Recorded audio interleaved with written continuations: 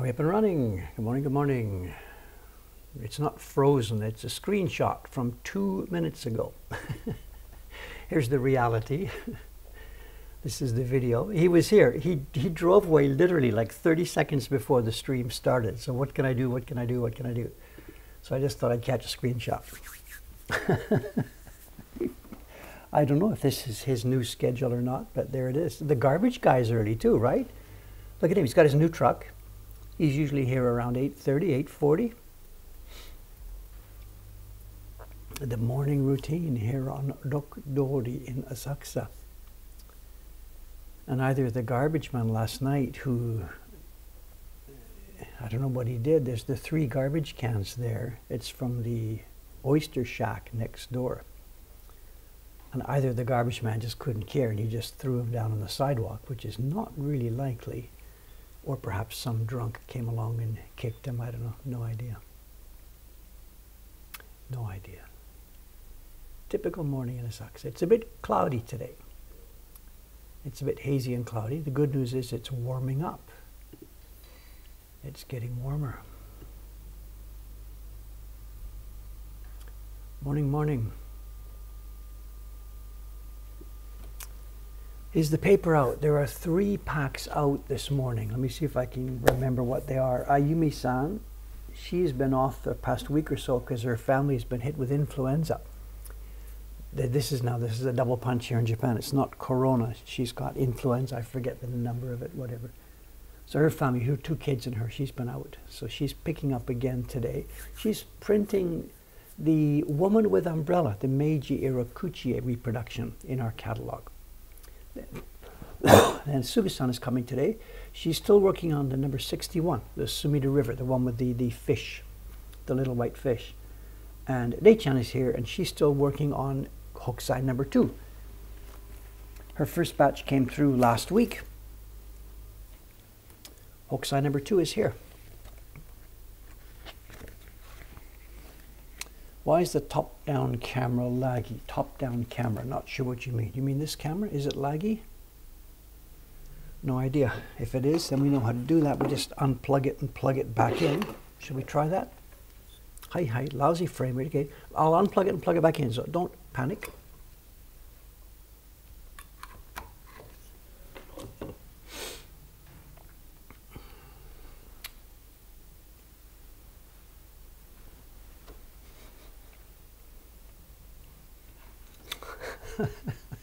I told you what I'm doing. Somebody's complaining the main camera is off. Like I know the main camera is off. okay, all right. So,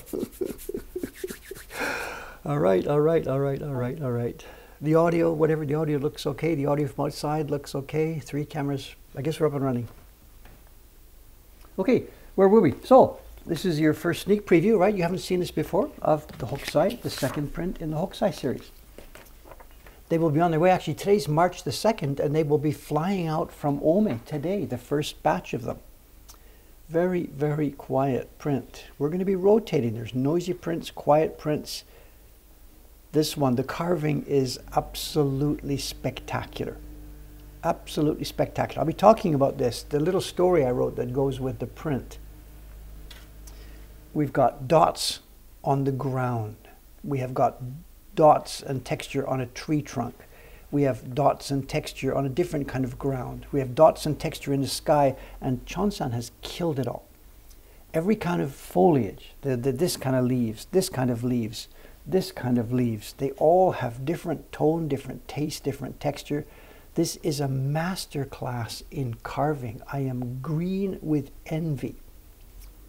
This is way, way, way better than I can do. They've traced it masterfully, Chonsan and Dei-chan. They've carved it masterfully, and this is printed on tsuge, and it's come out jet black. There's a, we got to do a video about this print. Absolutely, it's going to go out right now without too much explanation, but we have got to do a video on this. Remember some years ago in David's Choice when I took one of our Kuchie and I did a whole 15, 20 minute video on one print. We could do this again. Absolutely, we could do this again. There's so much to talk about. There's no better way to describe it. It's a master class in printmaking. There might be people out there who'll think you're kind of a boring little print. No. And it's up to me to grab them by the shoulders and tell them why it's interesting. Okay, what are we doing today? I know it's not a carving day today. It's a desk work day today, and I'm not quite sure. Maybe you can, I know, Uh, give you some guidance which of these jobs to do. As you can see, because the Baron is here, I have some embossing to do today. We also have to talk about the Mario. Let's save this a bit, Mario. We have to talk about the rickshaw cart. We have a question about block wear and tear and a couple of people have written in and sent images. Remind me, let's do this a bit later. There's probably not enough people here yet, but when more people have come in a bit later in the stream, remind me and let's talk about the block wear and tear. Someone's asking, is someone taking video of Asuka Sensei? The British Museum is here next Wednesday and Thursday. Wednesday they are here shooting me, interviewing me, talking to me, watching my work, watching me trace, do something, maybe print. And then on Thursday, we're going over to Asuka Sensei's place with the team. So the British Museum people are shooting Asuka-san on Thursday morning. And I believe Taran-san has also been shooting some video of him. So yes, there will be lots of video of, uh, what's this? Oh, show and tell later, later, later, later, later. What's this? New Meishi, later, later, later, later, later. Oh, what's this? More show and tell. Later, later, later, later, later.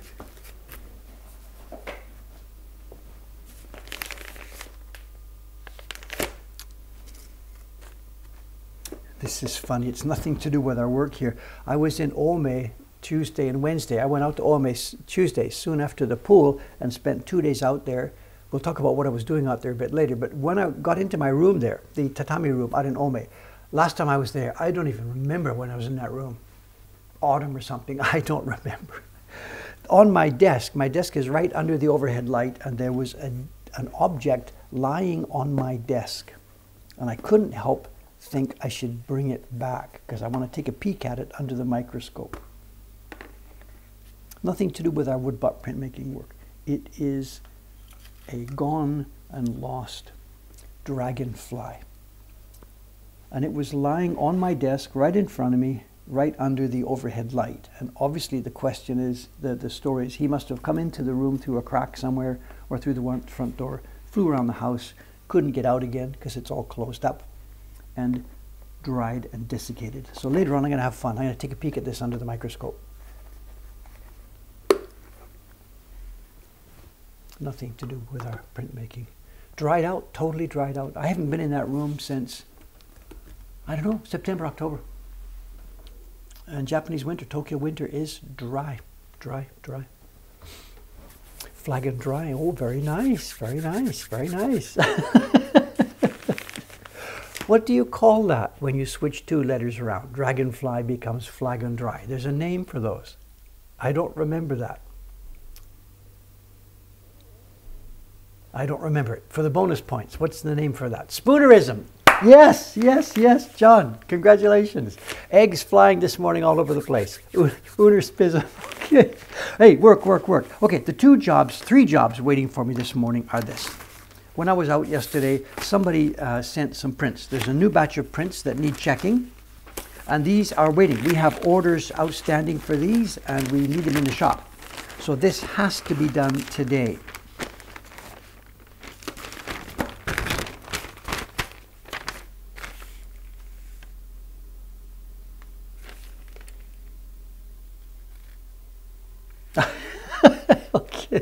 There's a backstory I can't tell you. I'm sorry. It's too, too embarrassing. too embarrassing. Okay, so I have to check these prints. What should we do for? Okay, here's the three jobs. Checking these prints, making sure they go through, picking out some chitty. I also have to, and this has to be done today. We have people waiting for these. I have to sign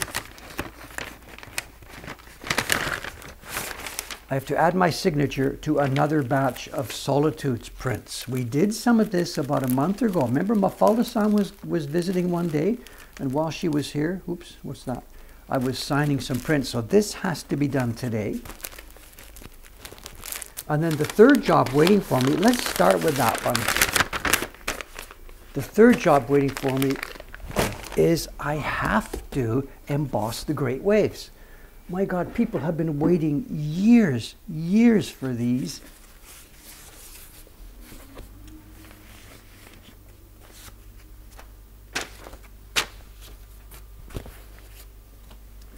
Well, more prints for checking. People have been waiting years for these. Let's do this this morning. This is the embossing on the Great Wave. It's not a hugely interesting job. I'm sorry. Maybe we can park partway along and look at some other stuff, but this has to be done. They arrived here last weekend on Sunday, and Ayano-san is getting edgy. Dave, when can I have the waves? Understandably, she's got so many people waiting for them.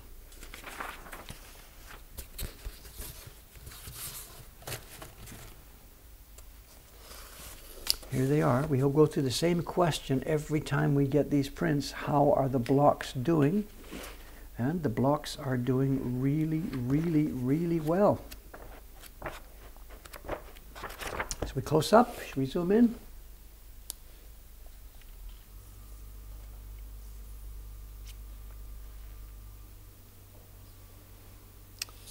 Let's zoom in here.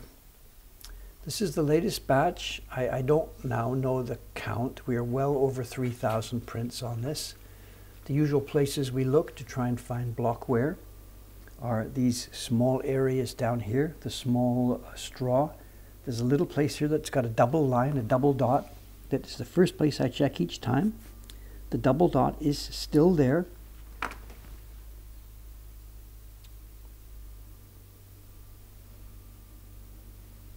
We're talking about, uh, when I talk about that double dot, what we're talking about is this place. It's just Dave's little personal way to check, the first place to check on these blocks. There's straw here, 10, 10, 10 dots, dots, and here there's a little double dot. And this is one of the places actually that I talked about in the earlier videos because on the Metropolitan copy, I forget which is which, on one of the Metropolitan copies, the double dot has become single, and on one of the British museums, it's still open. So this is the place I check each time, and we still have two dots there. Next place we check, over on the other boat, we check the tip of this boat, because that wears out really easily. And then on the back of this boat, here's another place we check, this place. It's way out in the wide open. It's very thin lines. It gets hit by the baren. It gets hit by the brush. This area at the back of this boat and the, the, the oars, this is an area that would really show wear and tear quickly, as well as these faces. And as you can see, I don't know, you call it. I don't see any. Is there any reason, anything you're looking at there that's wear and tear that I shouldn't send this print? I don't think so. The blue areas are still rich in blue. The faces are there. The registration is still perfect.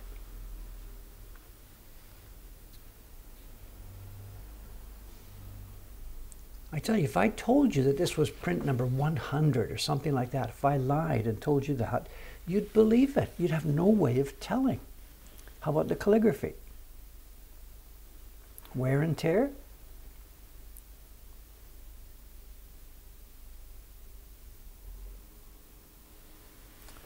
This is the key to these blocks, you know, and it's a bit now a bit of a paradox. The the standard story is woodblock prints, you can only make a couple of hundred before they wear out, blah blah blah.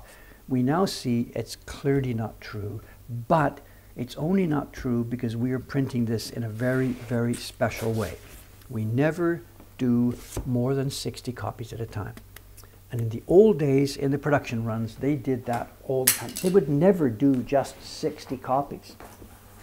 Never. That's, that's warming up your block from their point of view, 60 copies. But the problem is once a block gets wet and you're rubbing it, that's when the wear and tear kicks in. And we, we don't allow that. Just when the block gets nice and soft and soggy, that's when we quit printing.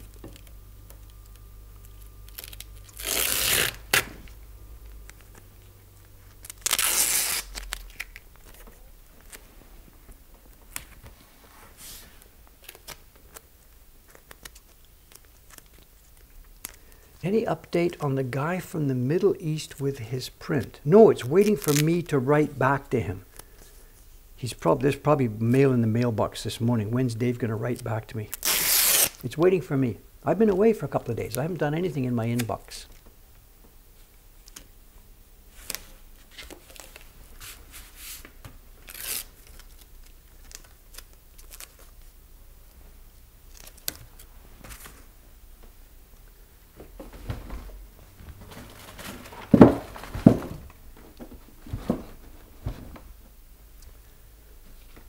Okay.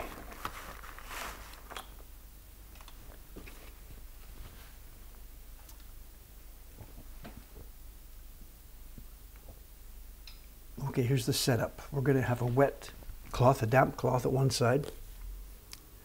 Someone says, Has I, "Have I gone to? Have I went to Iwanosan?" I'm going tomorrow, if they if they're cool with it. Tomorrow is my day for Iwanosan, for going up to Fukui Prefecture.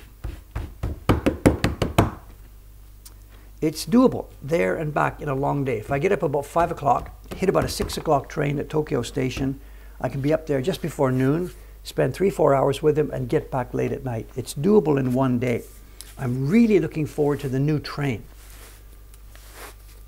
It's not a rough train ride. It's two. It's two trains. It's the Shinkansen from Tokyo down to Maibara, and then it's the I forget the name of the local train. It's the local express.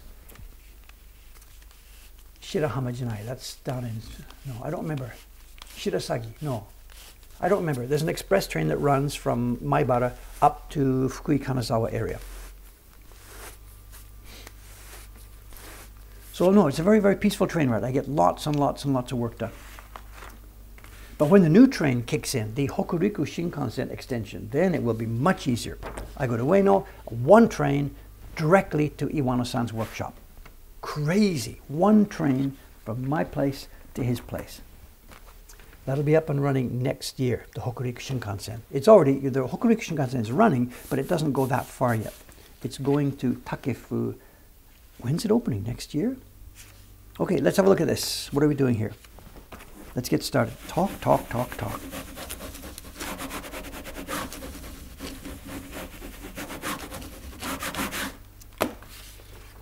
Okay, again, to show you what's going on, the people who haven't seen it before, what we're doing here, we're embossing the names into this print.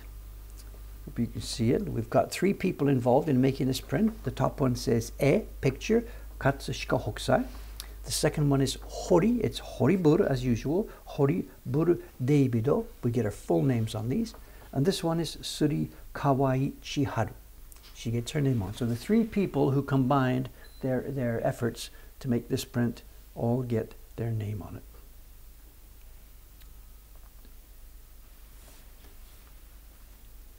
And that's my work now. There's 60 sheets here.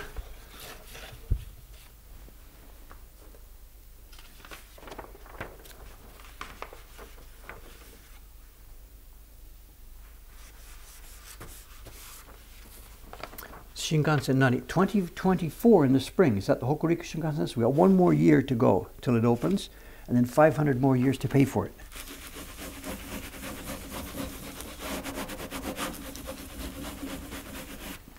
Have really mixed feelings about this, Japan, you know.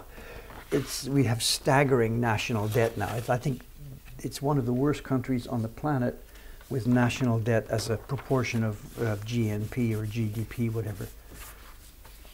Does that matter? I don't know, because we have this staggeringly wonderful infrastructure.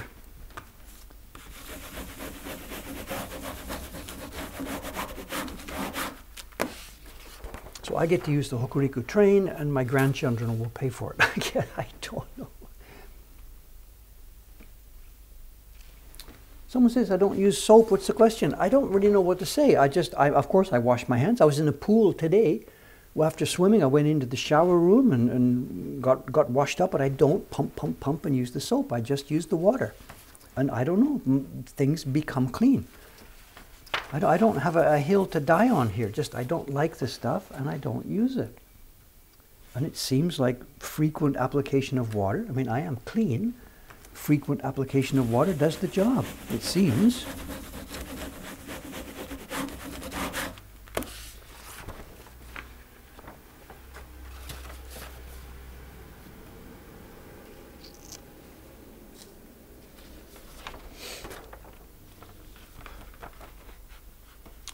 Where will Hokuriku Shinkansen? Well, the part that's already in, in running, it goes from Tokyo through Ueno Station up to, uh, what's the route? Up through Niigata.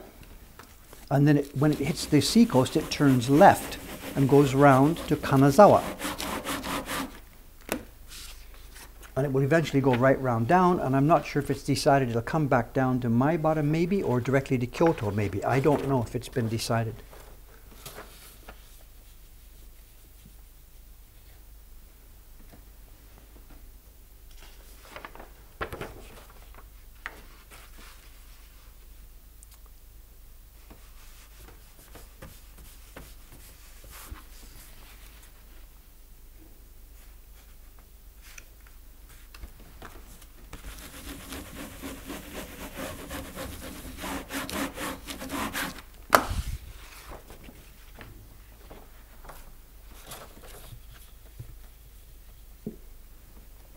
It's a new sweatshirt. It is really comfortable. Sadako bought it for me for my birthday. So I've had it on and off since last November. It is super warm and super heavy. And you won't be seeing too much more of it because it's now getting really warm here and this thing is too heavy. It's a bit too heavy for today. It's been really, really useful the last few weeks in the winter.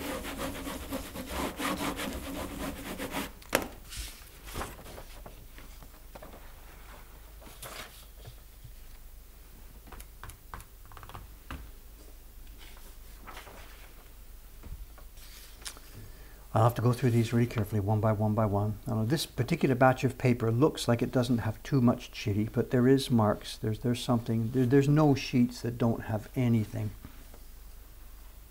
My God, she's done a good job again. I can't believe we've got people this good working for us. Oh, yeah, yeah, yeah, yeah, yeah, yeah, yeah.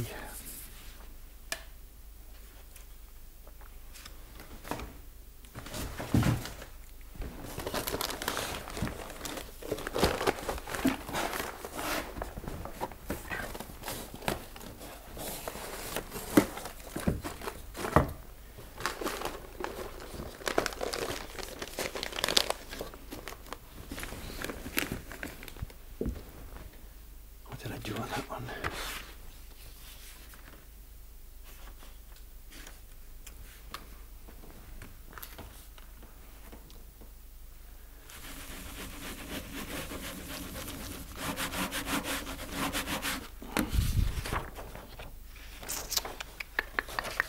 Was it snowing in Canada? I didn't uh, see any snow down in the city where we were. I think the week before I got there, Vancouver had a big heavy snowfall.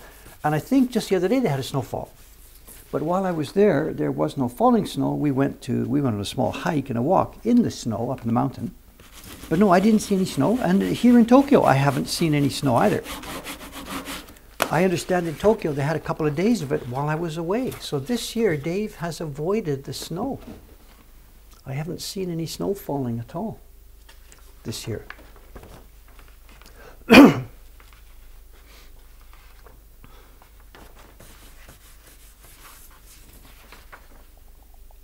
And now that it's March, I think that's probably it. So this will be a year without snow for me.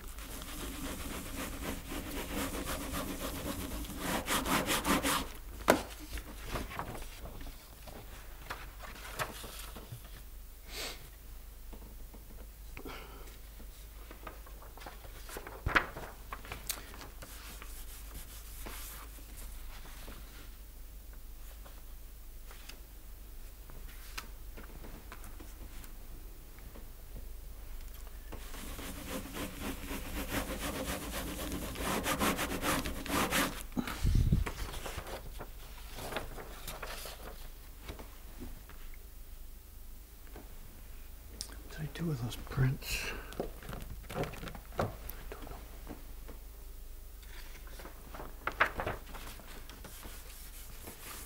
I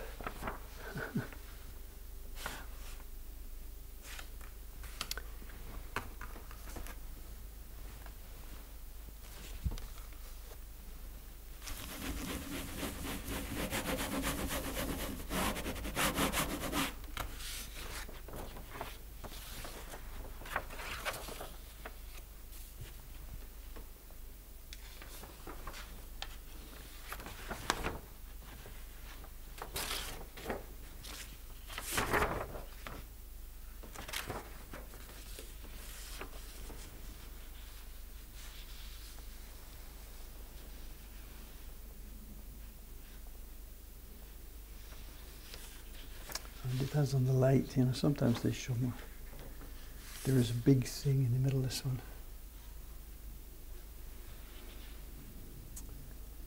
It's all, it changes with the light, you know, that's frustrating too, you know. It will look nice here, maybe I send it out and the person who receives it has a different light.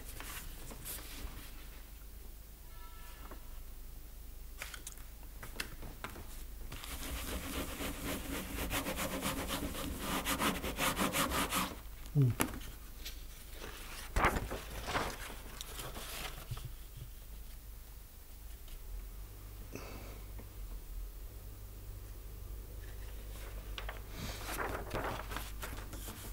Picture on Instagram with the snow, that wasn't Whistler, that was Cypress Bowl inside Vancouver, inside North Vancouver. It's inside the city, basically. And it wasn't that cold at all. We were working, working hard, hiking there. Up, up, up, up, up, down, down, down, down, down. There is a waiting list. I don't remember the, the, the if you go to the it's on the website. I think if you go to our Mokuhankan shop, it's there somewhere. But I can't be too optimistic. I'm sorry. You know, there is a waiting list. We, we are allowing names to go on it, but honestly speaking, I cannot be too optimistic about this. For quite a long time now, more people have been joining on any given day than we ship on average on any given day. If someone asked you when these wave prints were published, would I say 25? That's an interesting question. It's just it's how you play with words. We published our wave, yes, in did we get it in 2015? Is that when the first batch went out? So if I would say that, I would say it was published in 2015. Any individual copy, they're not marked, so there's no way. If you look at some specific copy that's out there, you can have no way of telling when it was made. And that's the same actually with all of our prints, except the Ukiyo-e Heroes. We don't number any of our prints. And when you look at one years from now, when somebody comes up with a Mokuhankan print, in what year was that made? There really is no way to tell. And I'm not bothered about that. That's the way we do things. We are making printed matter. We're not making, you know, limited art objects.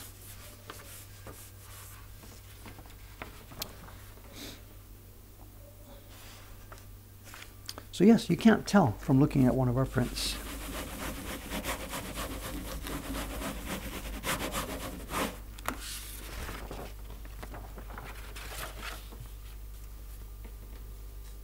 Archivists cursing you.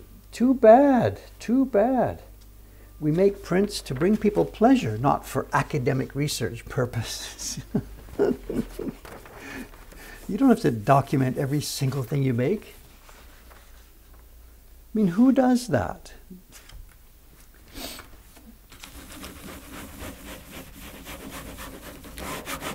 You know, but whatever, this tool, we bought this tool, this baren. I don't know when it was made.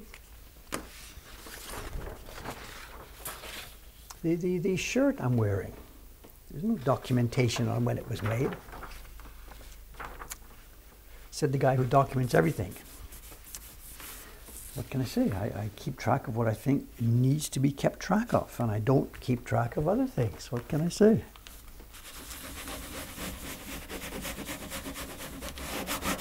Okay, let's do this then. Let's interrupt this program because the, the point that we're bringing around here and talking about, let's interrupt this program to look at this. We've got lots more embossing to do, but let me sidetrack for a minute then and look at this a few days ago on this stream, a few days ago, was it was it Monday or was it Saturday? I don't remember. I was doing more embossing like this. And I embossed these prints from Kubota-san. And to recap this, for those of you who weren't here, I was embossing these prints. And when we got to one point, I think I was showing a nice close-up like this. This is one of the prints. And somebody in the stream pointed out an interesting thing on the print and asked me if this was a defect.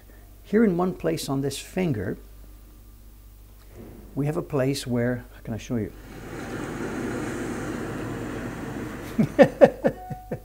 Here in one place on this finger, we have a place where it seems that this part of the black line is missing.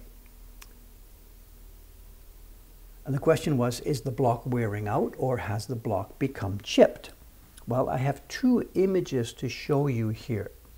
Two more images.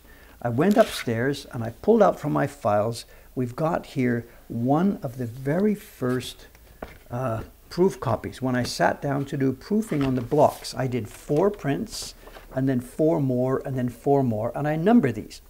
And these, this was sitting on my desk open out there. Look at the difference in, in paper tone. This has been sitting in the open on top of a shelf for, it was 2012, so it's 13 years, and here's the new one. Anyway, this is print number nine.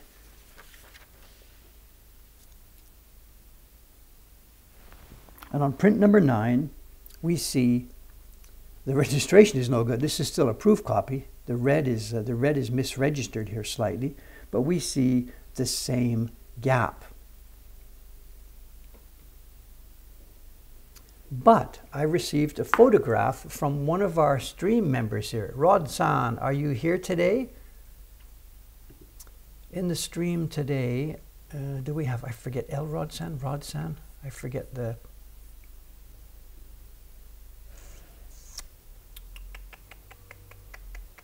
Maybe he's not here. A longtime collector of our work sent in an image. I'm going to click it up here. Here we are. Here's his image he sent this in.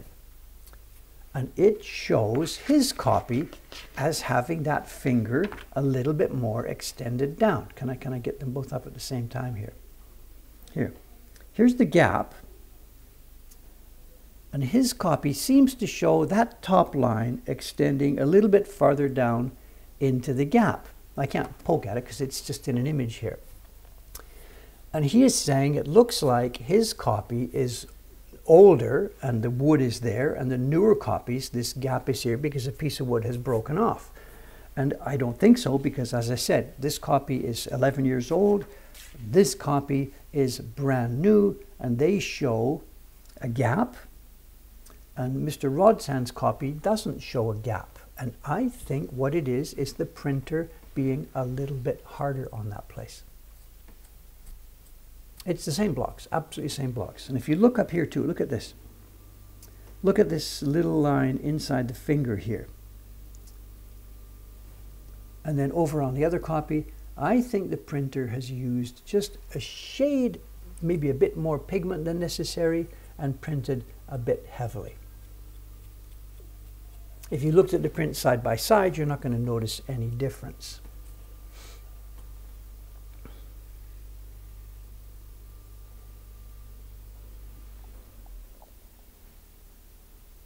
Gaps in the hair. So I think that one is a shade too heavy. Should that have been rejected? Would I have noticed it when I just opened the batch and looked at it?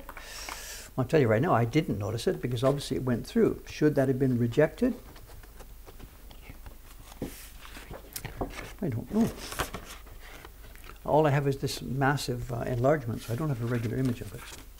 But there it is. I think I think the blocks are fine. This particular copy in this photograph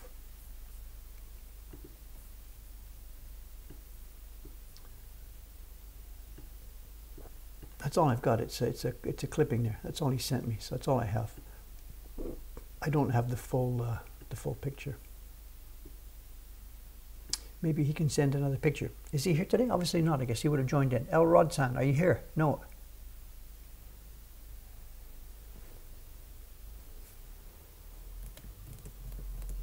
Anyway, the gap is normal. It's part of the drawing, part of the carving. It's the way Jed's brush worked.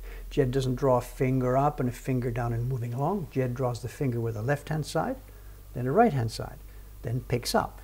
The brush picks up, puts down, picks up, puts down. The lines don't all join each other.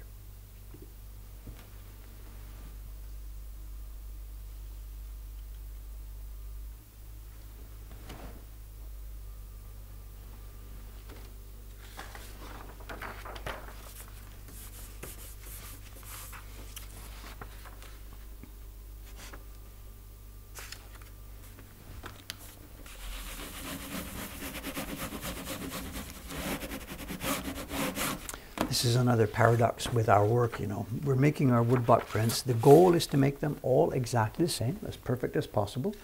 We, of course, can't do that, but the goal is perfection. You sort of keep it in mind, try and make them all exactly the same. But the prints we send out have come across my desk. I've looked at each one and said, hmm, that can go. Do I compare every single line of every single print against some perfect master copy that we have here? No.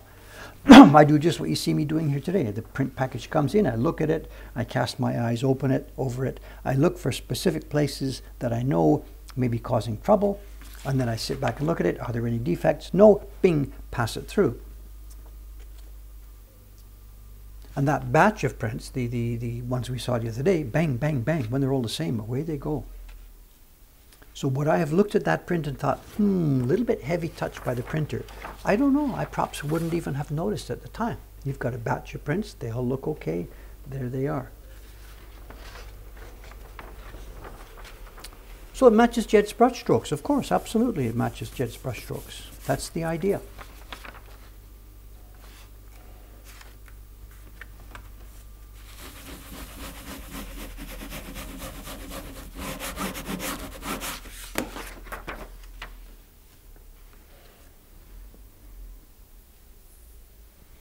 We see the same thing here. If, if anybody's confused about that, just grab any, any print or any image that was drawn with a brush.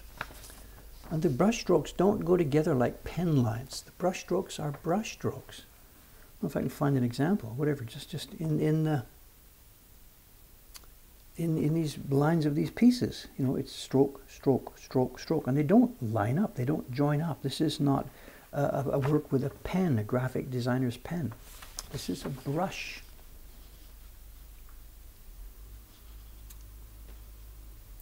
Someone says, have we considered having a reference print on hand when reviewing fresh prints from blocks years ago? We absolutely do have reference prints. For every single one of our prints, we have two or three or four.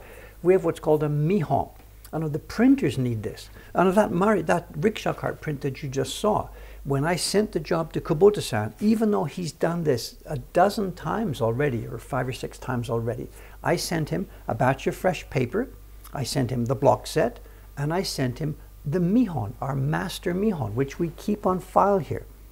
And then that goes out to him. He looks at it for the colors and the lines, matches it, and it comes back. The Mihon then goes back into the file, out of the light, out of sight, out of mind, and it sits here until the next time. So yes, we have master Mihon, what's the word? Sample, guide, master copy. We have these for all of our prints. And what we also do is when we get a batch of prints back from another printer for the first time. Hang on a second. So the Mihon file upstairs has our, our Great Wave Mihon. And then it's also got a print from Kubota-san, one from Yamamoto-san, one from Chiharu-san. We keep a Mihon for each one of the different printers who's worked on the job. So for some of our popular prints, the, the crane in front of the sun or whatever, the Mihon file is thick. There's six, seven, eight, nine, ten in there. Absolutely, we keep that. We, you couldn't run a publishing company without this.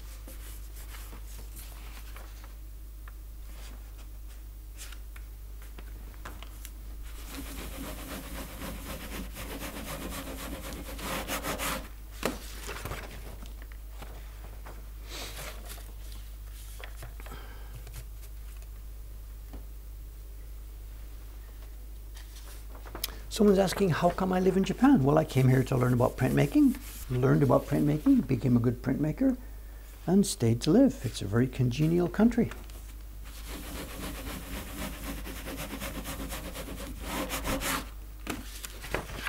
Japan is not famous for allowing a whole lot of immigration, but they also do allow some immigration. Were the Mihon done in the old days? This is an interesting open question. When we look at any given ukiyo-e print from the past, we, the, the copies that are left over, we find huge, huge variation in them. And it would seem that they had much it would seem that they had much looser, what's the word? If I say looser standards, it would be, you know, they didn't care so much about that. If, if somebody could try and experiment, well, let me do this myself. Hang on a sec. If I go to, it's easier to do this than to ask you about it. Here, just for example,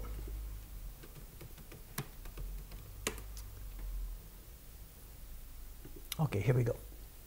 I'm going to copy you a link. This is from a 20th century print by the Doi Hanga Company.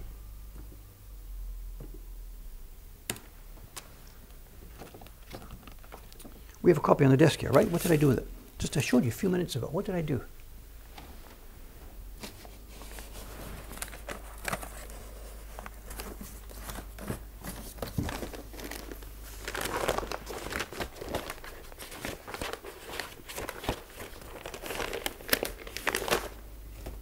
I can't find it. I saw it one minute ago.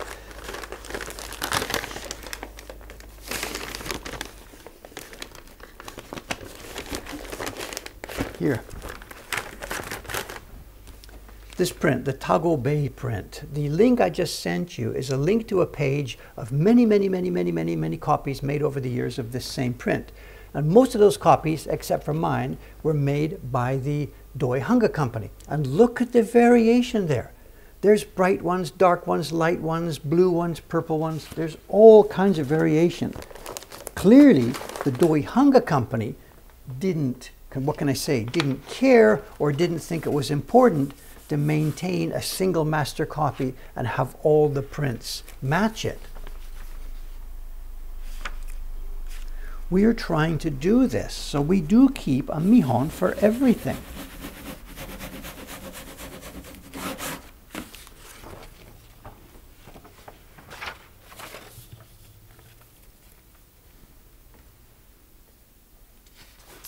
The Tago Bay prints in the catalog. I forget what number it is. 200 and, I don't remember. 272. I'm sorry, I don't remember.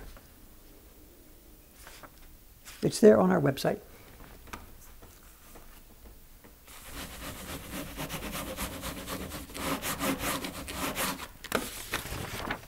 So the variation between prints in the old days, they didn't care at all. Moving into the 20th century, reputable publishers tried to keep control of it. I think if you go to that same ukiyo-e.org website and look up, say, a Hasui print that was published by Watanabe, I think you will find more consistency. Watanabe in general would want to keep, uh, keep closer to their samples. And I would guess that they have a big Mihon file with lots and lots of prints in it that are used for reference when making a new edition. Doi Hanga, because they there was never a single person in charge of it. After Sadaichi-san died, his son took over, now his granddaughter took over. They don't understand printmaking, so they've lost control of this idea of a Mihon. In some of your blogging, talk about Matsuzaki, Matsuzaki Keizaburo. My understanding is that he's passed. I didn't hear this news. I saw him, when would I have met him last? A year ago, maybe? He could have passed away within this last year. I don't know. I'm sorry. His son Hiroshige. I'm sorry. You may have newer news than I have. I don't know. I'm not really part of that uh, guild anymore. You know, my name is on their membership roll, but I really don't have too much connection with those guys. So it's quite possible Matsuzaki-san could have passed away and I wouldn't hear about it. It's quite possible.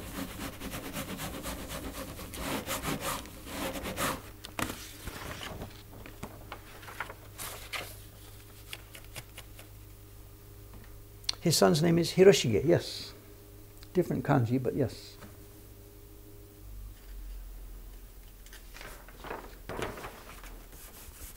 I wrote about him in my newsletter. There's a, there's a, there's a interview with Hiroshige-san in my newsletter going back about, I don't know, 30 years ago or so. Over on the woodblock.com website, the section about the newsletter, Hyakunin Issho newsletter, and the corner of visiting a craftsman, there's a visit there to Matsuzaki-san and Hiroshige.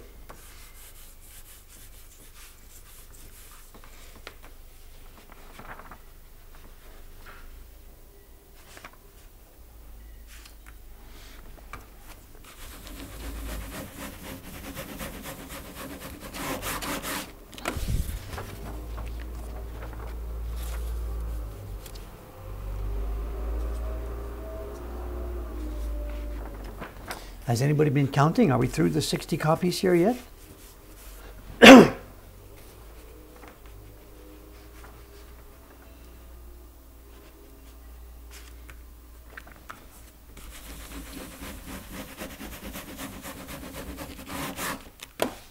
Has someone got a link there?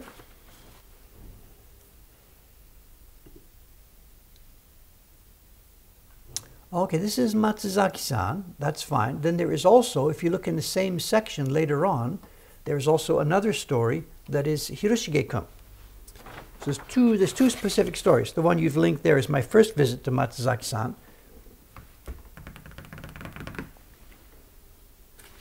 Someone's asking about this nominative determinism. No, I don't think so. Because if you remember, the original Hiroshige was not a printer. He was a person who drew pictures. He never touched the actual sheets of paper. So if Matsuzaki-san was trying to get his son to be an artist, yes. But if he was trying to train his son to be a good printer, no. Nominative determinism.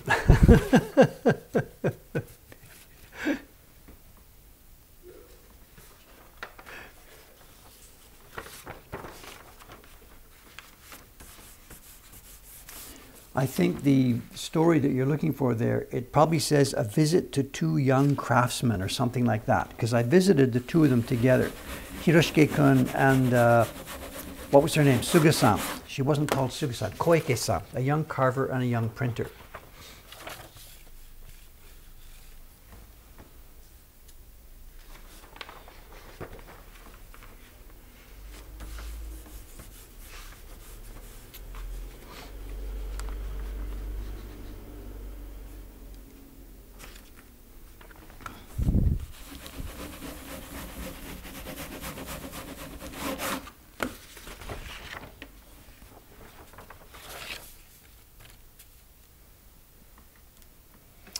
Make it Origins Part 3. Yes, I know, I know, I know, I know, I know. It's on my list of things to do, but it's not a high priority. I'm sorry. It's Beginnings. Ne?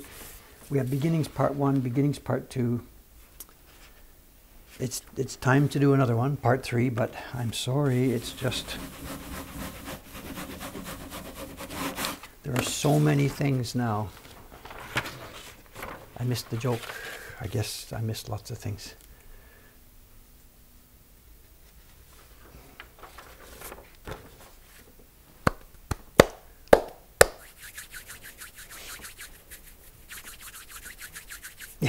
Okay, at that point it's no longer beginnings. I know. okay, okay. I don't know when the video thing now is just it's just chaos. I don't even know what to say. I'm sorry.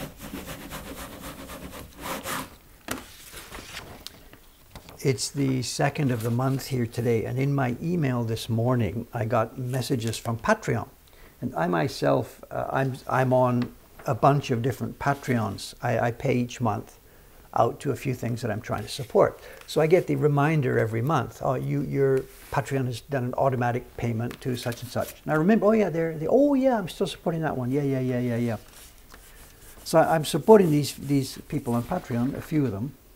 And of course, I'm the other way around. People are supporting our work on Patreon. But every month when I see that message going out, I get a real I get a real guilt twang. Bang, I got it this morning when, the, when I saw those messages.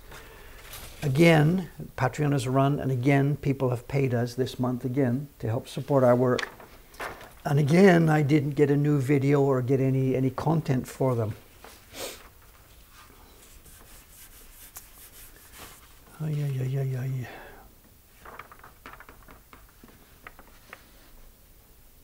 the beginning of the end or the end of the beginning? Is that what you're talking about there?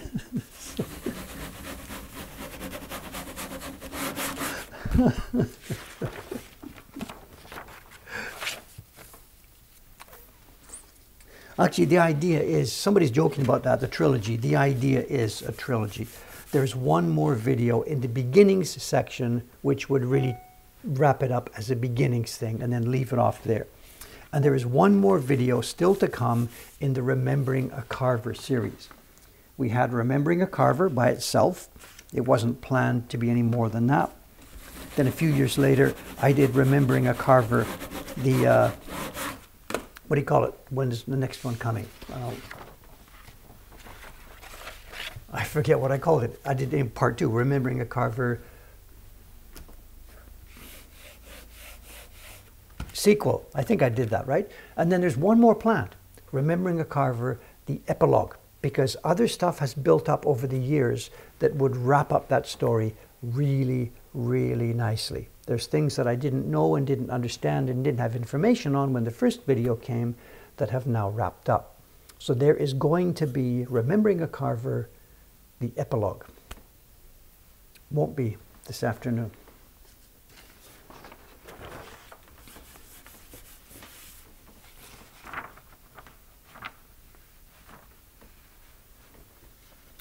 Do I have a TV block? Actually, we have a couple of TV blocks. Excuse me.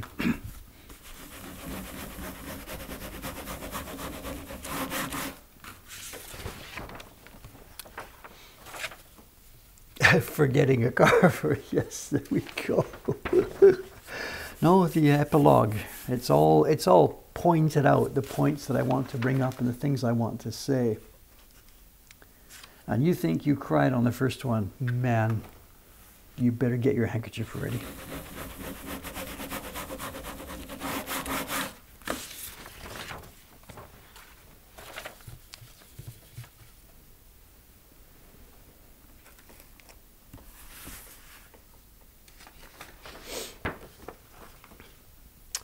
Do I have Ito-san's TV block or did I give it back?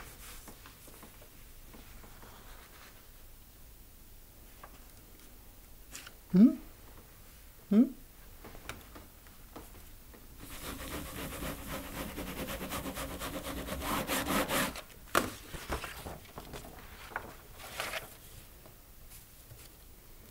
I claimed in one of the videos we had lots of prints in the collection made by Ito-san. Of course we do. We've got prints in the shop by Ito-san. Watanabe-san did a, she does her flea market Fridays. About two months ago, she did a flea market Friday with a bunch of prints by Ito-san. There's lots. Any given day in the shop here, there's any number of them. We have tons of prints from that era, 1960s, 1970s, 1980s.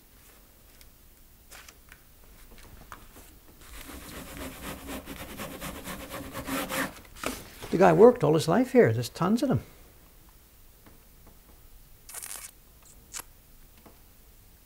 Can I quickly maybe pop one up? I don't know. Hang on a sec.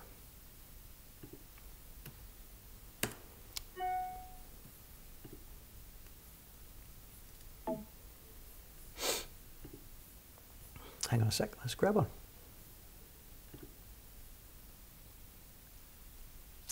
There's one right here. Here. Let me copy the link.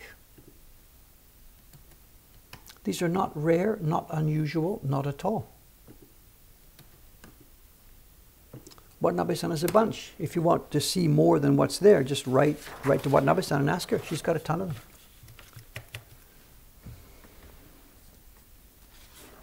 What do you got, about 10 sheets left here? What time is it? 8.53.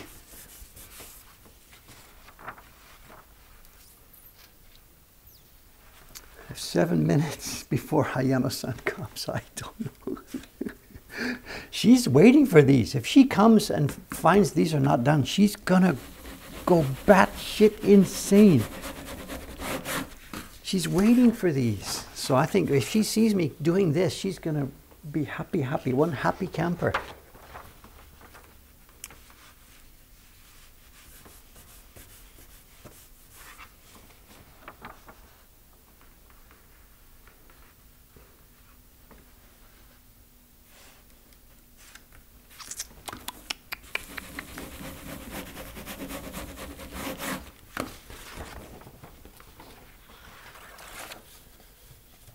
Do do do.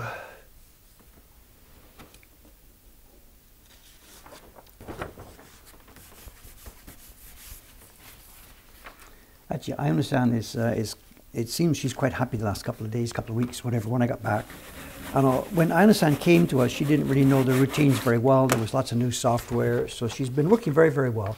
But then when the shop opened, and online orders hit. She's been crazy busy through October, November, December. And she got so crazy busy that she was like, Dave, I can't handle this. We need to get another person to help me with the job and stuff like that.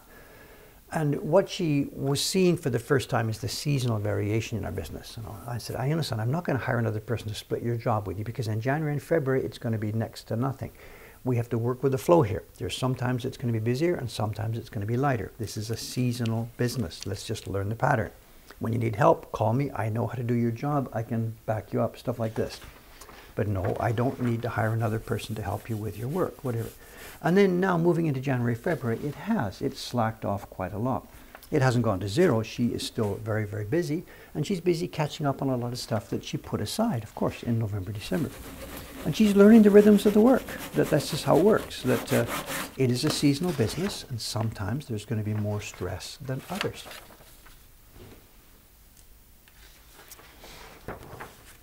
As our business gradually expands and grows and grows, it certainly is within the realm of possibility that at some point, yes, we have to split her job and get somebody else to do it.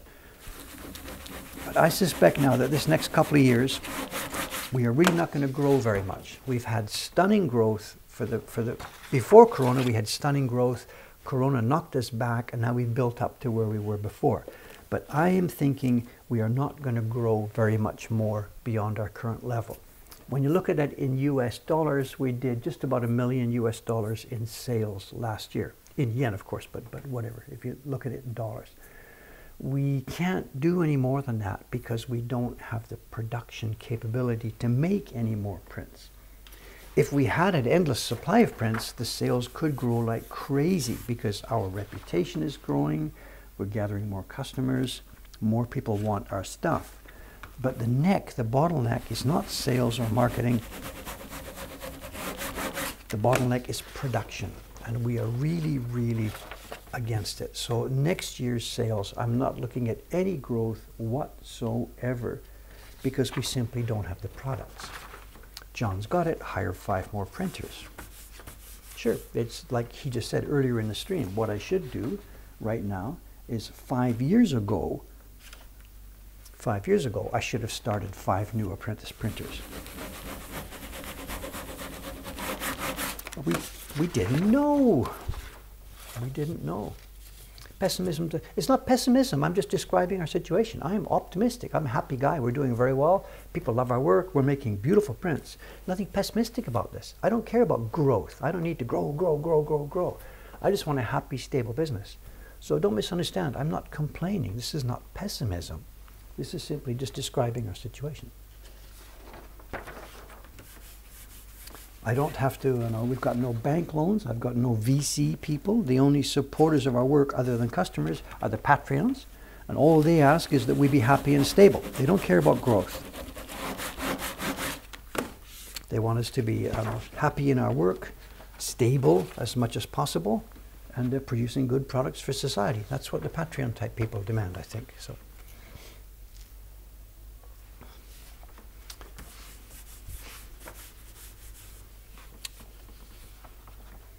So, answer, if, if the best time was five years ago, wouldn't the next best time be today? Yes, you're right, sir. Good. I'll get right on it as soon as the stream's finished.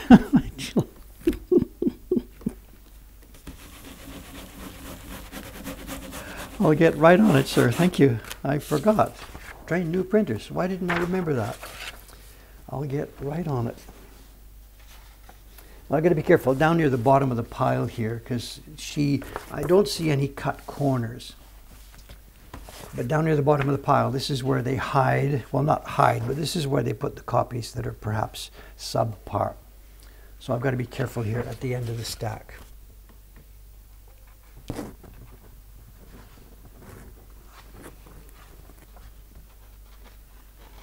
I see some bad chitty. But I don't see any printing problems. So I can go ahead and put her name on it. For, oh, here we are. She's giving me a note. This is Yare. Okay, so let's, let's, go, let's go to those two and let's have a look at them. Why did she say Yare? Let's have a look when we get there. What's this? What's this? Oh, it's Ayano-chan. Ayano-chan, Ayano-chan. Huh?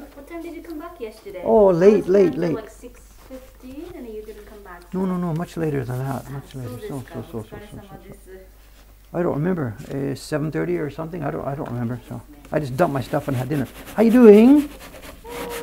Hey, waves, waves, waves. The show. So, so, so. for the wave. I know you've been waiting for the waves. We were chatting about that. So, so, so. This is Ayano-san. For those of you who don't know, the lady who works upstairs. If you're writing emails back and forth with, with us, this is the lady who has been answering So answering them. Hi. She escalates them to me when it gets to be real trouble. She's escalated one to me yesterday. The young man in the Middle East about the dots on the Great Wave Ah. Yeah, I saw that. Yeah, yeah, yeah, yeah, yeah. Remind me again so that I can get that done. So, so, Okay, so, so. okay, okay. She handles most of it, but at some point, the big guy has to come. Well, like I will try to reply to the, the first email. You know? Well, yeah, no, of course, of course, of course. I'm not, I'm not being bad news. You know, at some point, there's a, sometimes a decision has to be made. Like this print, the, the customer didn't wasn't happy with the print. Ayano-san explained our policy on this, and he's still not happy. So at that point, no problem. It escalates to me, and I have to discuss this with the person. That's the way it should be. So no problem at all. No problem. No problem. No problem. You still got your, I know, Yeah, glasses? Did you, did you feel it yesterday? I know you don't feel it. No, Um, but but I have to admit, I know we were talking about the the pollen allergy, right? And Dave is over this; he doesn't have this anymore. But that's not quite true. I was in Ome yesterday, on Tuesday and Wednesday, and Ome is surrounded by cedar forests, absolutely surrounded. And I did. I got a little bit of a runny nose. Right, yesterday is the worst, I Mm, think, so mm, mm. But it's funny, out there, Ishigami-san, she was just streaming and rubbing her eyes and everything else, and I did ah. feel it. So I'm not 100% over this yet, but... I should perhaps advertise these glasses because people don't believe that these glasses actually work, but they do. They actually do. So if you were You mean advertise to like our Twitch stream? I don't know what you're talking about. what she's got, she's got glasses that have uh, a plastic side barrier. Yeah side barrier. Oh, and around the bottom too. So, So actually, it's like swimming goggles. They actually touch your skin all the way yeah, yeah. around. So I think the best way to prevent pollen getting in your eyes or is wearing goggles or swimming. Okay. It's completely sealed. There you are. So I should talk to Ishigami-san probably. Yeah, yeah, Anyways, okay, so, so, hi. So I'm almost over it, but uh, nothing. nothing. So, Maybe like in five years later. I don't know. I, I'm happy with this. I don't no care. sign of pollen. No, it used to be so bad. I used to stream. Like I was sitting there carving or working, and my nose is streaming. You know, just I couldn't. Right. Unbearable. Wait, so when you came to Japan, did you did you have it already? Or When I was a, when I was a kid, I grew up in the Canadian prairies. Edmonton, not so much. In Winnipeg, I got it. And there's a hay fever in the Canadian prairies. It's one of the things that they grow there. I don't know. So yes, I had it bad as a Okay. teenager. We moved to Vancouver, the west coast, not so much. It's a damper ocean air environment. But when I came to Japan, it hit hard. So so it hit I'm hard. wondering, like, um, you know, actually we're coming closer to the busiest season in the year, right? The uh, March and April. One of the busy seasons, yes. so- I mean, a busy season for pollen allergy. I mean, Ah, hay fever ah, plus ah. foreigners visiting Japan. Oh. But do, do they feel that thing? Talk to them, ask them. Don't ask me. so, Not different plants, guys. Yeah. Okay. So I know I will have a number for you today. What I'm going to do, as soon as the stream is finished here, I've got to do some signing of the My Solitude. Somebody, uh, Ome wants those. She's answering. She gave me a stack to sign, and she said they're waiting for them. Eh? They're not waiting? Well, did somebody give me a little white lie? She gave me a stack of, of my own prints, the, the Shizan series, the, the solitude. Bunch, uh, she gave me a stack yesterday and said she wants them back straight away. A, okay. Is that not true? Oh! Oh! She said as quickly as possible, please. As quickly as possible, yes. I, am not counting those. Uh, Oh, so I'm getting some little white lies by some of these things here. Okay, okay, okay. what I'm managing is like uh, the, the books, you know, the, not the print. Yeah, yeah, yeah. Books. Uh, the book construction, yes, yes, yes. Okay, okay, okay. Anyway, what I said, I'll, get, I'll have you, uh, I'll have a number for you today. Okay. I'm going to split them into the three groups. The ones that we can sell online with minimal number of chiri. The ones that have just too much bark, we have to put them in the shop here. And then the ones that have too much bark, we can sell. So I'll give you those three numbers Okay. later this morning, and you can start notifying people. はい、わかりました。あの、プラムブロッサムもちょっと I want to talk to you about. Oh yeah, it's here. The the tamagoyaki, the show you want one. Yeah, okay, okay, okay. Are there people waiting for that one as well? Uh, not just one customer. Who- Okay, that one. Okay, but in general, okay, all right. Okay, I'll talk to you as soon as the stream's over. Okay, thank you. Thank you.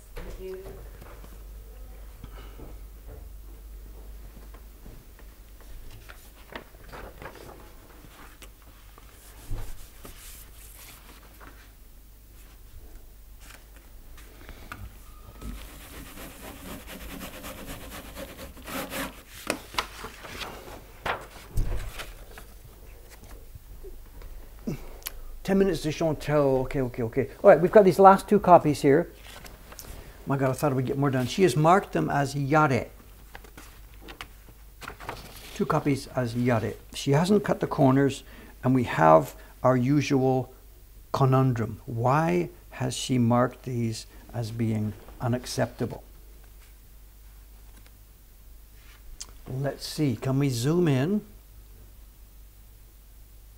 No, nobody can order one that goes to the shop. We've just had too much trouble. People get them and they say no. No, the shop copies are for shop only.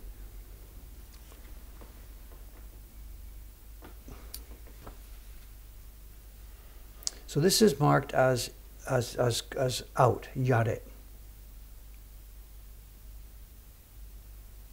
Bottom boat looks okay. Oh, here we are. I get it. Do you see it? Do you see it? This must have been one of her early copies. Look, she's got a misregistration here. You can see the blue is off.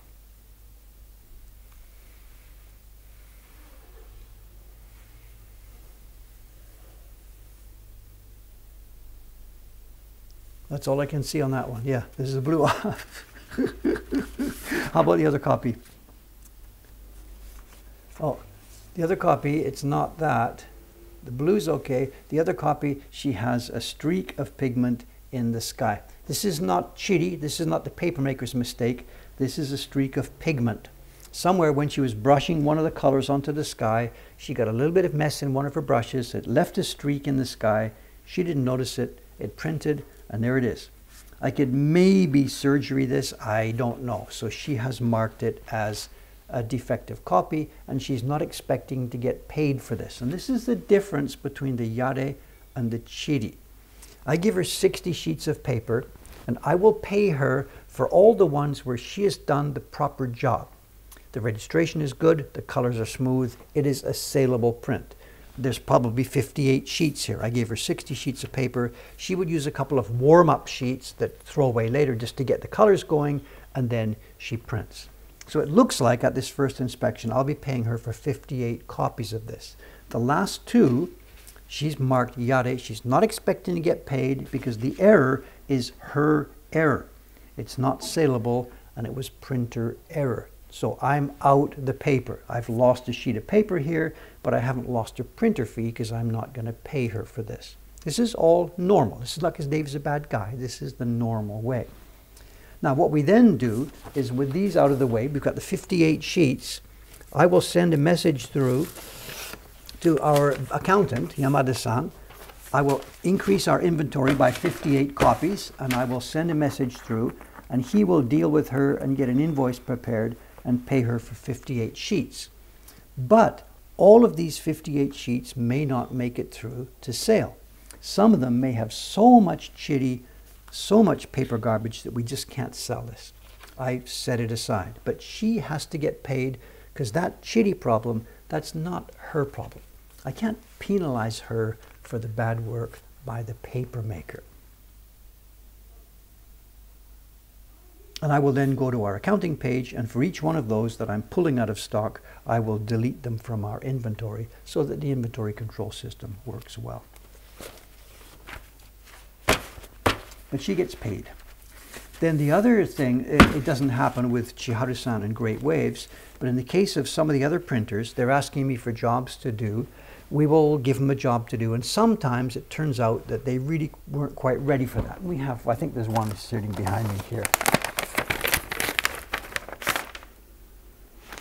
We have a batch of these. We don't need the printer's name, it doesn't matter. These prints, I put a sample in, and when they came back from the printer, the person had tried, they'd done a good job, but it had been a bit over their head and the prints couldn't go out. I don't have a sample with me to show you the comparison, but the key block was too light. And so look at, look at this. The key block here was too light. There's a bit of misregistration up on the black on the mouth. They've used the wrong color tone for the, for the sun. They just weren't mocha hung on pink. Pink was way too deep here. So they tried, but it turned out no go. Well, here. Yeah, there's the sample.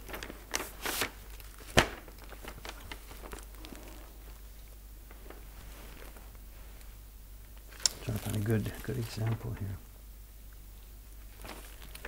So look, the color difference. The sample had good, stable printing on all these lines. This one, it's just too weak. So anyway, what I was trying to get at, the point here, that printer, none of those go through for sale. But for me to say, sorry, no pay for that job, I can't sell these, that would be stiffing a printer. We're not trying to take advantage of these people, we're trying to train them. So that's where we take that timesheet for that printer and we say, how much time did you spend on that job? We add it all up and we pay a good hourly rate for that one and that printer walks away being compensated. They didn't get paid for the job, but they got paid for the working time they spent. The prints here get put aside. And that's where we use things like our Patreon money and our trainee premium. You know, we've got on the website, we've got this thing we call the trainee premium fund. That's what funds these. So when the printers don't make it, when, they, when we give them a job that's a bit too difficult and they actually can't, can't make it through to the end, they still get paid.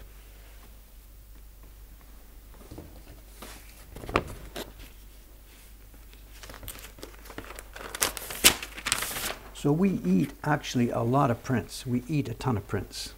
But that's the way it goes.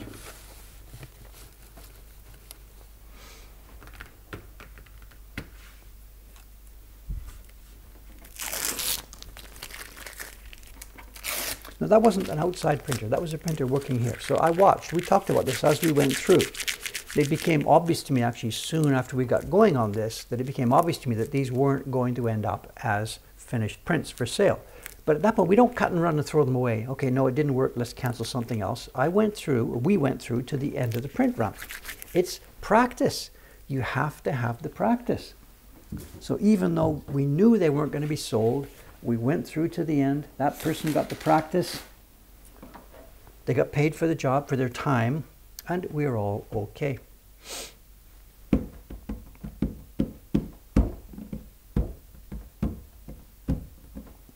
when Dave gets his face on one of the poles outside, they will sell the bad prints. No, sir. No, sir. No, sir. so, so. Okay, where are we?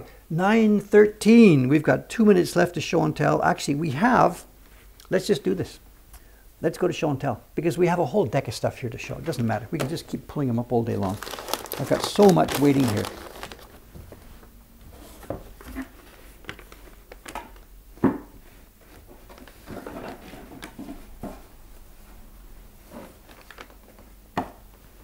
Here we go. Let's do this for tell. First, an easy peasy one. This one came up on Yahoo auction a couple of days ago and nobody bid on it. I can't understand why nobody bid on this. Let me find the auction. Let me find the auction catalog here. Sometimes is this is shooting what do you call it? shooting shooting something in a barrel? I can't remember what's the expression. Oh no, somebody else did bid. I can't say no. One person put an entry bid on this, and then I came in and took it away.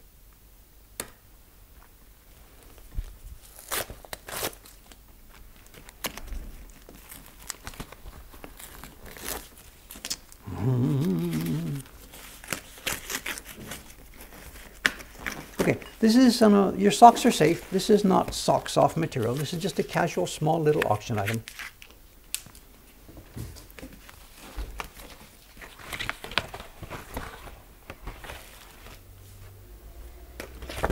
What we have here are a couple more. You've seen these before.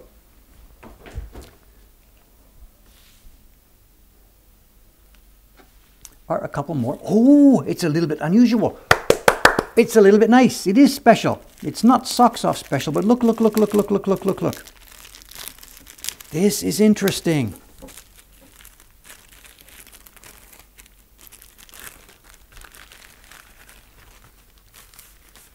The cruise ship menus and cruise ship menus with a difference. Look, look, look, look, look, look, look. You know what these are?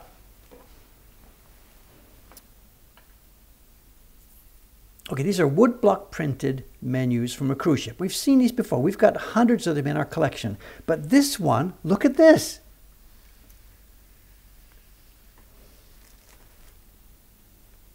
it's perforated at the end. I have never, I don't think I've ever seen this before.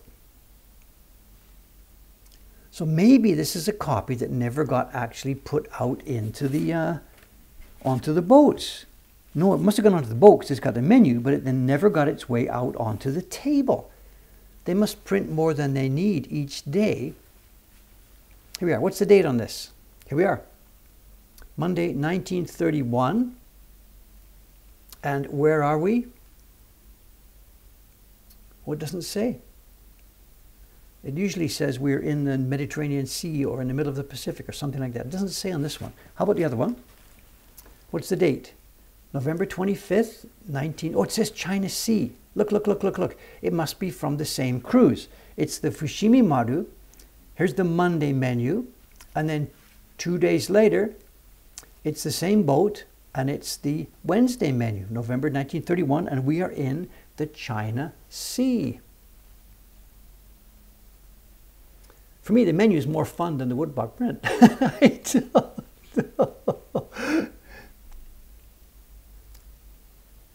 We've got to get some of these on the website, you know. We've got to get them up. Time will be put ahead 10 minutes tonight. Look at this approach to, to time. On Monday, the time went ahead 20 minutes. And then on Wednesday, the time went ahead 10 minutes. Is that how they do it on ocean cruises? Do they change the time minute by minute by minute or 10 minutes instead of one hour, one hour, one hour? You tell me, I don't remember. Last time I took an ocean cruise was 1957. We came from Liverpool to Quebec City, but I don't remember anything about the time zones. No jet lag.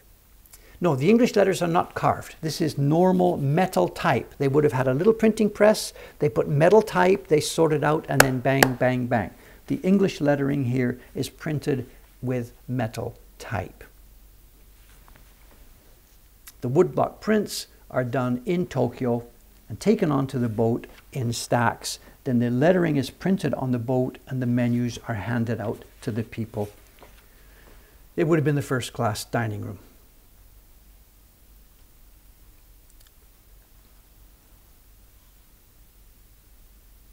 And here's our roots. They went to Victoria. Yeah, look at that. Not Seattle. Oh, yeah, Victoria, Seattle, San Francisco, Los Angeles, Manzan, Manzanilla, Manzanillo, Panama Canal. Look at this, right down the South American coast. This is the NYK line, Nippon Yusen Kaisha. Liverpool, that's the same route I took, Liverpool to Quebec City.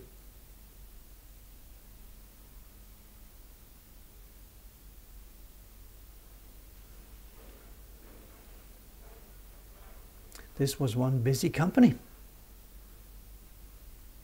This, of course, was uh, Japan. These places listed here, Truk, Yap, Saipan, these were part of Japan at the time. This is 1931.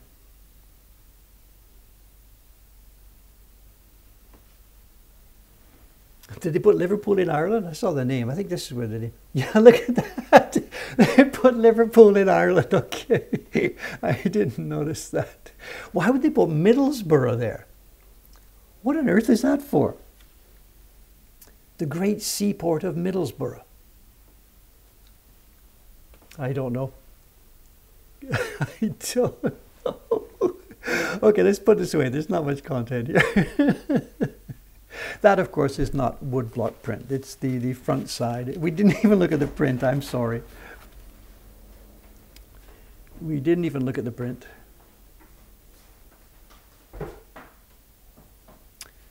Vivid is asking, could we have flown in 1957? My dad went over first on a military plane and then the family, my mother and us two kids, we followed on an ocean liner, the Empress of Scotland. I don't know if there were commercial flights in 1957. I have no idea about that history. My guess is no. So someone's asking, these doublest postcards? No, they are menus, and what happens is this. They're trifolds. You got your menu, you eat your dinner. After you've finished eating dinner, you can write a note to somebody. Dear Aunt Jane, having a great time on the China Sea. Wish you were here. You should have tried the smoked duck. And it folds up, and then you put the address Aunt Jane, Middlesex, England, blah blah blah blah blah. And uh, somewhere on this on the ship, there must have been a little miniature post office on the ship. You would mail it in the ship, and they would drop it off at the next port. So it's a menu plus little souvenir postcard. The woman on the right has two left hands, does she? No. Uh,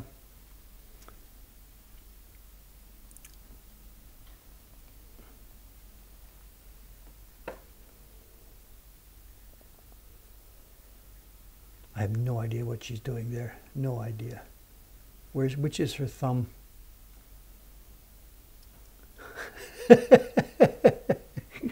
Our artistic license. Artistic license. I don't know. I understand. Have you seen these before? We have a bunch in the collection. Today's Chantel. Here, have a look at these. These are woodblock prints from 1931. 1931, which is 92 years ago.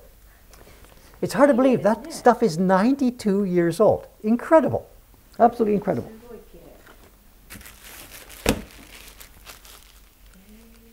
92 years old, almost as old as I am. Someone's asking, what's the mask for? The protocol here in Japan is, at the moment, very much in flux. The general protocol in small rooms when you're together with other people is to mask up. On a train, masking. Confined spaces, masking. Outside, the government is trying to put a protocol forward that we don't need masks outside, but everybody is still ignoring the government and everybody actually is still masking up. Let me just ask randomly here. I understand. Do you think we should take off our masks and be finished?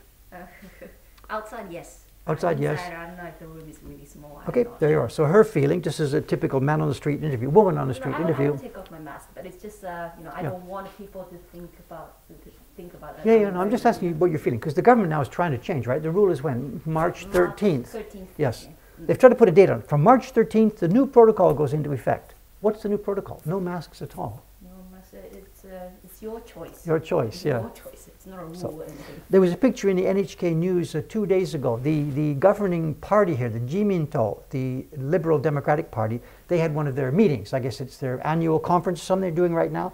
And the final picture on the NHK News was on the stage, the Prime Minister, not acting as Prime Minister, he's acting with the, the Jiminto no Kai, Kaicho, Kaicho, nan, whatever, whatever, as the leader.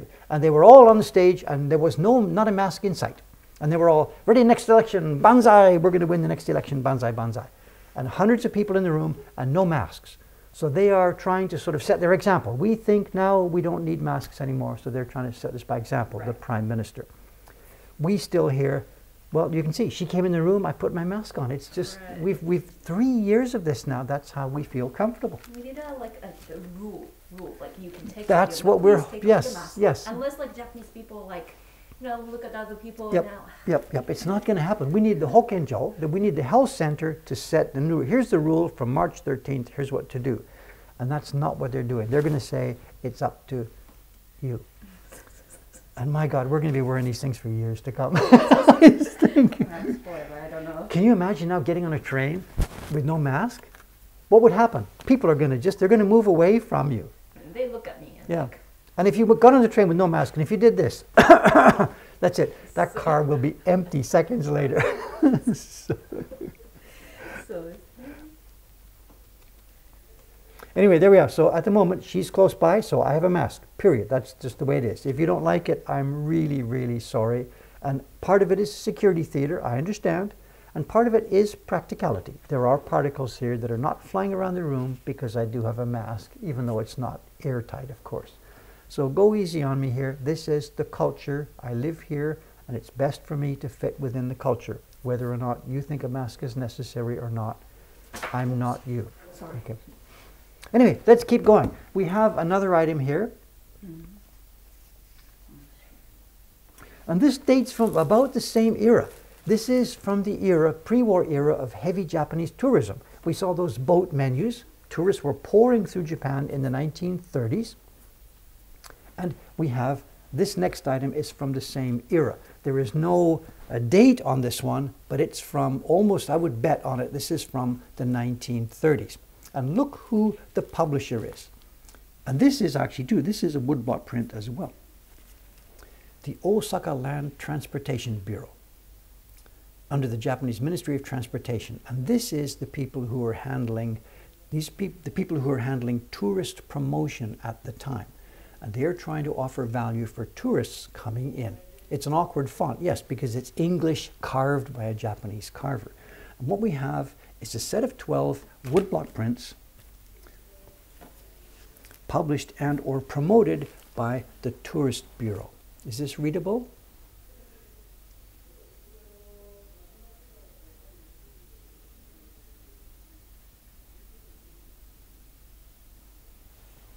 Let's have a look.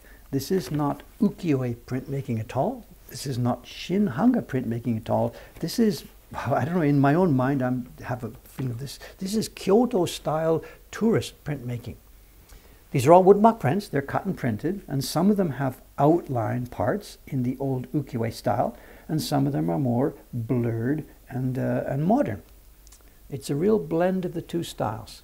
You have chromoxylography spelled wrong. So, and we have them like this. They are printed on very thin paper, and considering their age, 1930s, and a very, very bad pulpy background, this paper has survived very well. Let's zip through so you can see what's in this set. Try and get it lined up here. I can pull these smaller. One sec.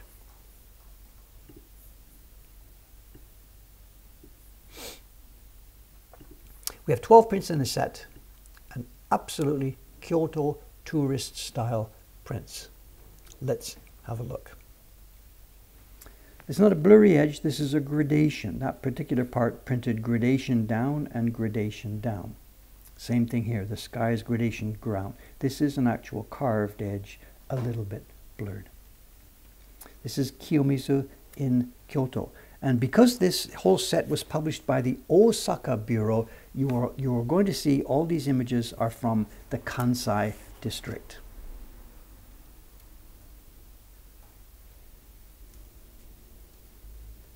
No, that was foxing. The top left one, somebody's asked, that was actual damage. And this seems to be the only one of the set that is damaged. It's the one that was on top. The other ones don't seem to have any of that sort of damage. This is not great art. Oh, here's Akasaka-san. Hi. Good morning, sir. Hi. This one is nice.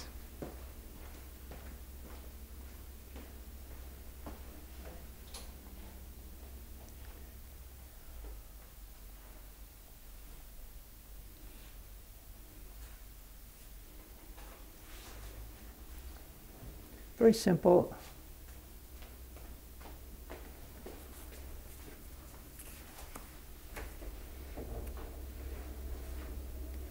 They're really what they are. They're basically sort of picture postcards. I can see the original for this. So you can imagine somebody in the tourist bureau taking some photographs or picture postcards, sending them out for being to have prints made of them. They're very much just like photographs. They're not really artistic at all.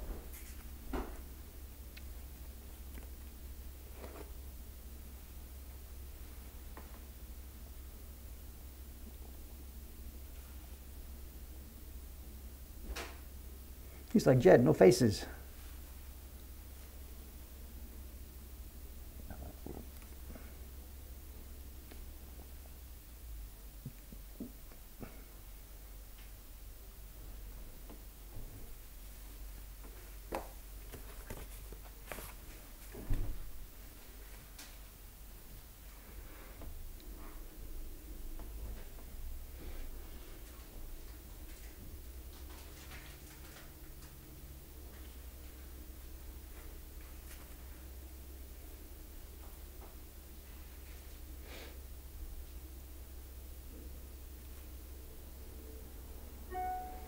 I'm not sure who designed these. I know there was in that era a fairly well-known designer, somebody called Wada.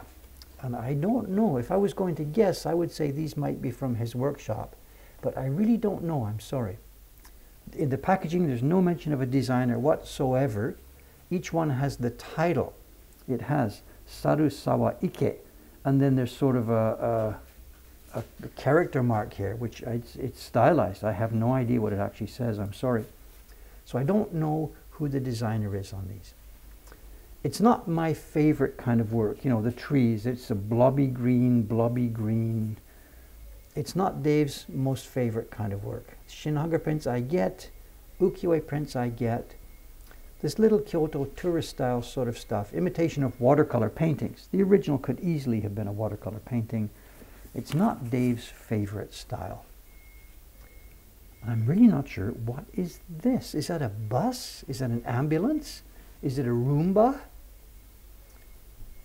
You tell me. What's this? Robots. Zombie apocalypse. I don't know. What are we looking at? I mean, it's really, really, really stylized.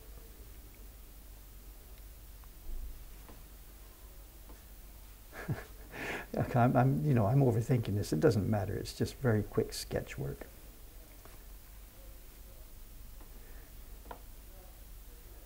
Not my favorite kind of stuff.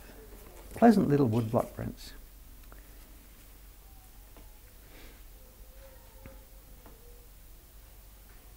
If I had to put a date on these as a single date, I would just guess 1935. I could be off, well, I wouldn't be off much later than that, but I could be off a bit earlier than that. I'd say 1935 or so, if I had to just date it. No, this is not Tokuriki. No, no, no, it's not his style. Tokuriki also is Kyoto tourist stuff, but it's not like this. No, no. This is much too, uh, Tokuriki would never be this blurry and this blended. He's got more, he's more brush strokes. He puts his brush on there, bang.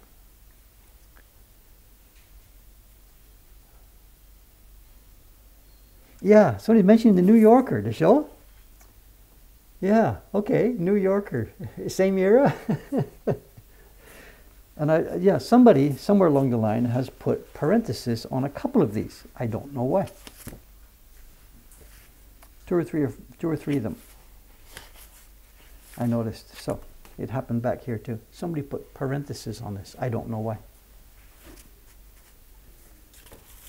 And the last one, number 12. Moon Michael.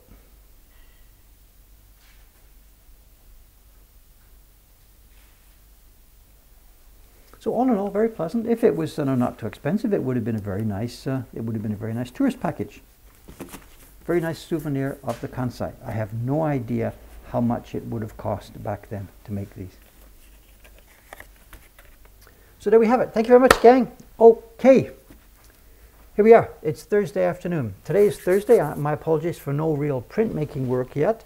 I still don't know what I'll be doing. The next stream on Saturday I've got the Surfer Girl. I haven't opened the box yet. I'm sorry, people are probably asking about the Surfer. I haven't even opened the box. It's triage. Every day, just triage.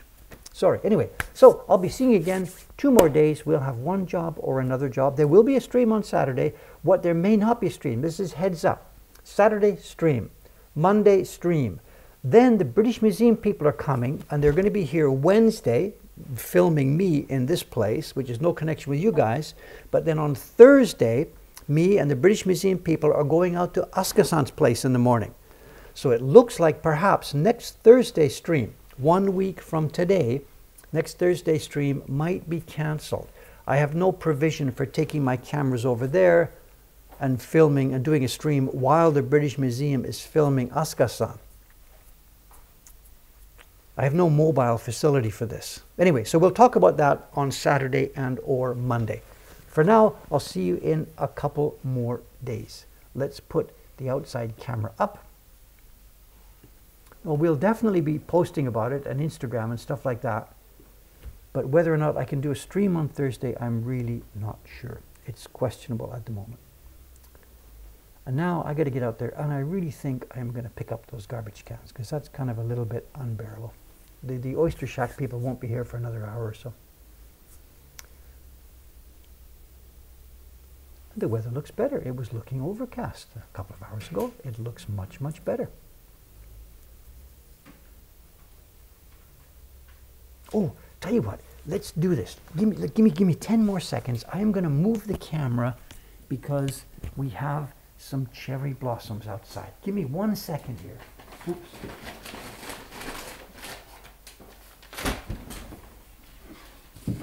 Did you see the sakura outside?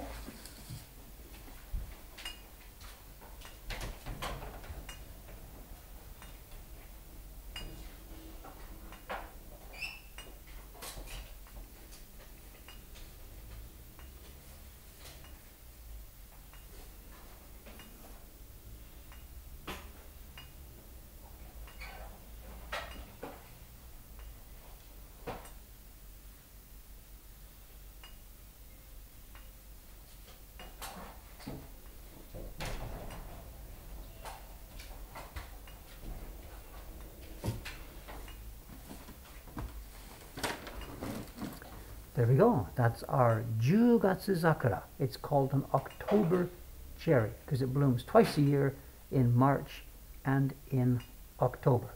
It's an actual cherry tree. Okay, that's enough. I'll see you guys later. Now, signing off. Bye for now. See you next time.